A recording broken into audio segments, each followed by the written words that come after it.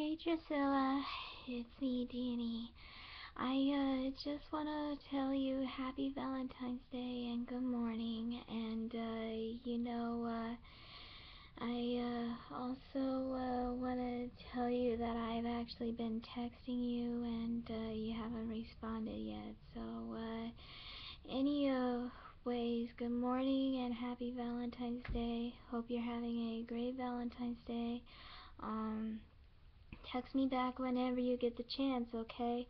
I don't think uh, Liam has been uh, texting me back lately, so uh, I don't know if Sophia still has his phone or or if he's just not responding to my text anymore. So any uh, ways, um, text me back whenever you get the chance, uh, okay?